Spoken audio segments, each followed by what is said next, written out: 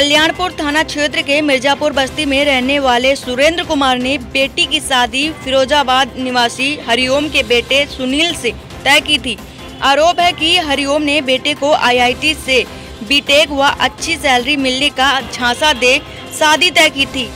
शनिवार को हरिओम अपने बेटी की बारात लेकर सिवली रोड स्थित गेस्ट हाउस आए थे। तभी दहेज की मांग पर दोनों पक्षों में कहासुनी हुई। उसके बाद बात इतनी बढ़ गई कि मारपीट की नौबत आ गई। सूचना पर पहुँची पुलिस दोनों पक्षों को थाने लेकर आ गई। दूल्हे की जमकर पिटाई लेन देन को लेकर हुआ था विवाद। कानपुर में वैवाहिक कार्यक्रम के दौरान दहेज को लेकर जनाती बाराती आपस में भिड़ गए।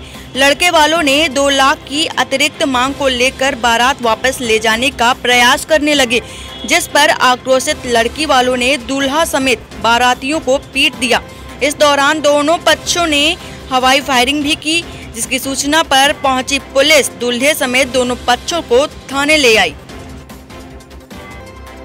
क्या नाम है आपका? सुरेंद्र और क्या घटना हुई आज? शादी समारोह में? शादी समारोह में जो है दरवाज़ा हो गया दरवाजे के बाद जो है द्वार चार वगैरह जो होना था वो हो गया।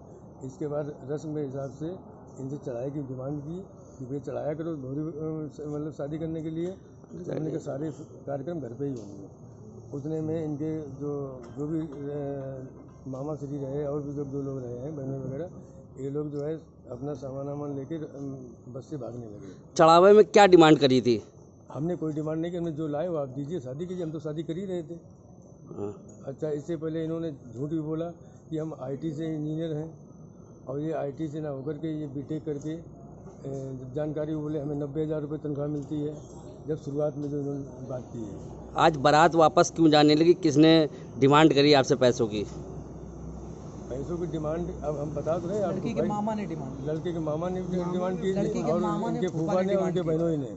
क्योंकि हमने टका रुपया हर जगह वहाँ तो ये बोले अब टका रुपया भी हम ले लेंगे।